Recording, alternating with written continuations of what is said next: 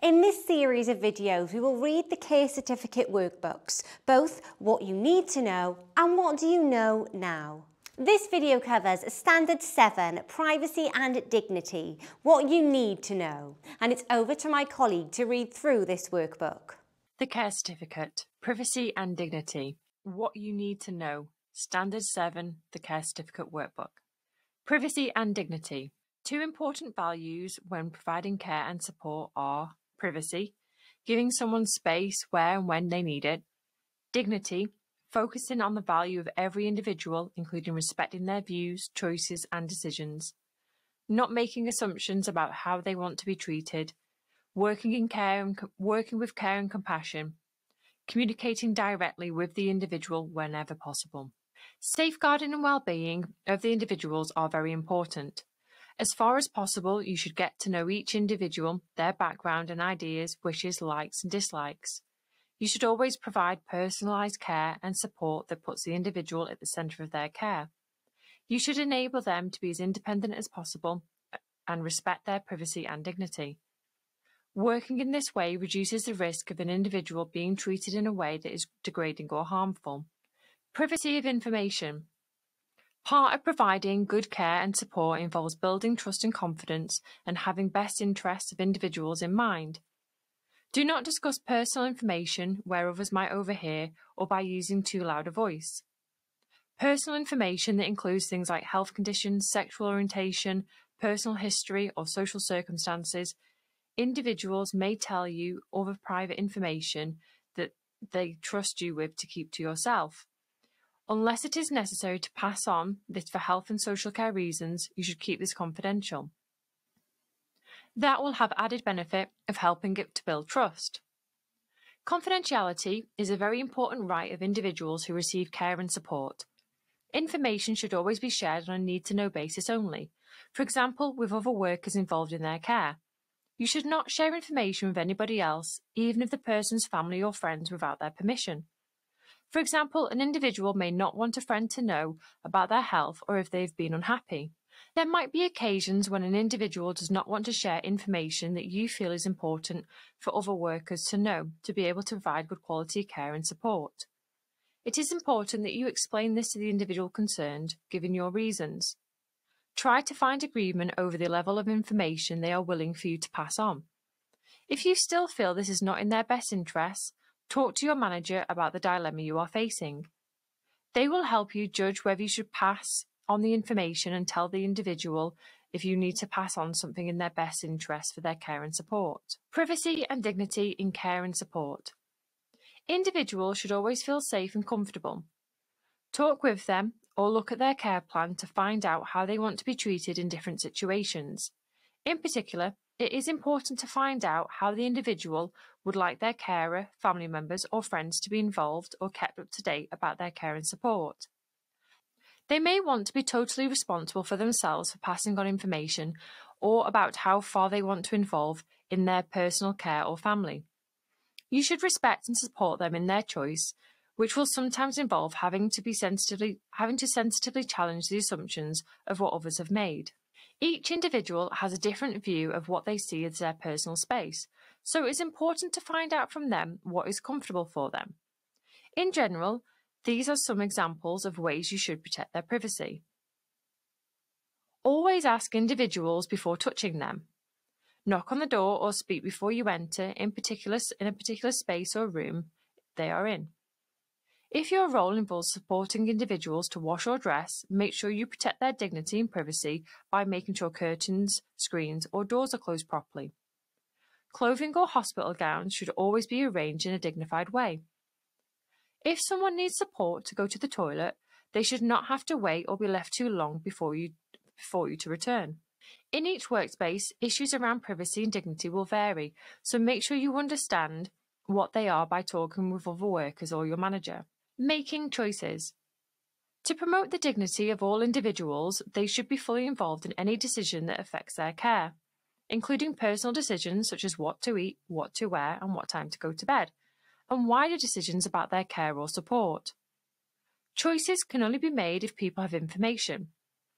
If they know the options, the risks, and possible implications, they can make a choice that is right for them. This is informed choice. Sometimes decisions are difficult, even when an individual has all the information available. There are a number of ways you could help the individual make an informed choice. You can explain information, find people who can share their experiences, or ask for help of a specialised worker.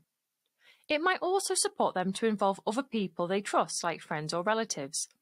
An advocate might be an additional option to help someone to make a decision where they need additional help to understand and consider their options and risks. Sometimes an individual may not be able to understand and retain the information they need to make a decision or communicate their choice. If this is the case, they may lack the mental capacity to make the decision.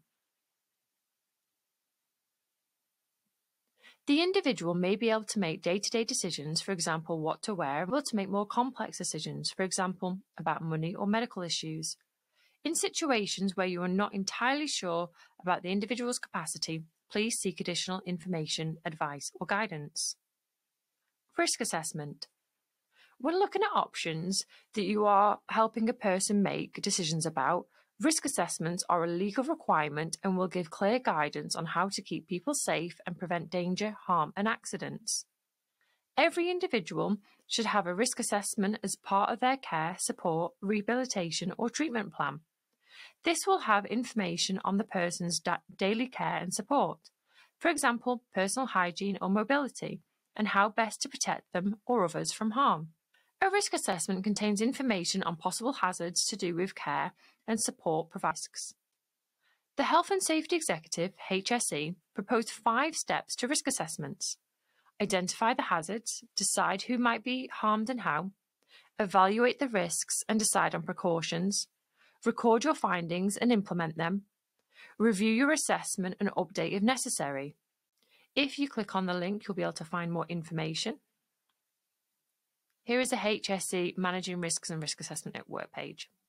If a new activity is going to be introduced, the five steps of risk assessment must be followed first. Everyone's choices are shaped by things like their background, values, culture, religion, or similar beliefs, if any. Equally, everyone has the right to weigh up and take, take risks that they believe will make their life more enjoyable and more worthwhile. As a worker, you can give your view if the decision affects their health or social care, but it is the individual's right to make the choice and take any risks once they understand all the information available and are fully aware of the risks. Risk enablement involves supporting individuals to identify and assess their own risks and then enabling them to take the risks they choose.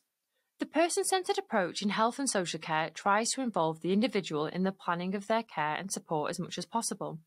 However, there might be times when the, someone is unhappy with decisions that have been made on their behalf or choices they were offered.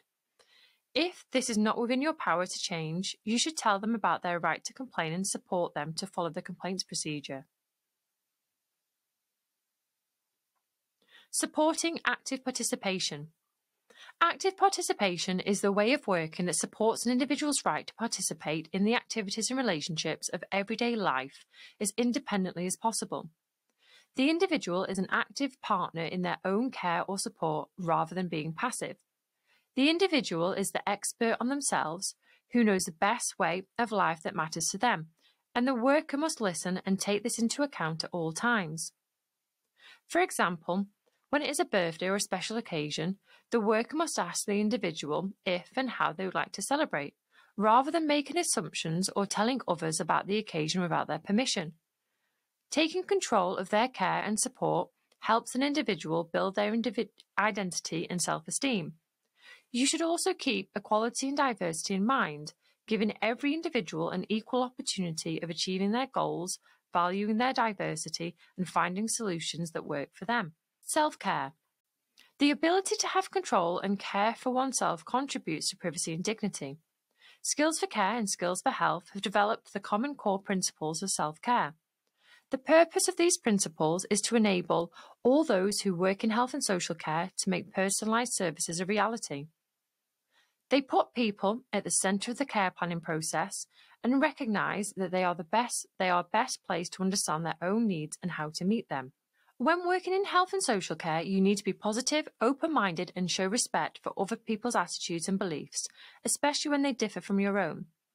Your job is to care for the physical, emotional, and spiritual well being of an individual and allow them, as far as possible, to live their life the way they choose or to get back to the best health possible and allow them to do this.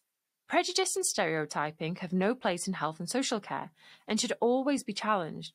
Reflecting on your own attitudes and beliefs is crucial to making sure that you do not allow them to affect your quality of work. Stereotyping. To have an opinion about a group and applying this to anyone belonging to the group, for example, no woman can park a car. Prejudice. This could mean to not like someone just because the group they belong to. There will be times when you face problems about how you can provide the best care and support you need to ask for advice from others.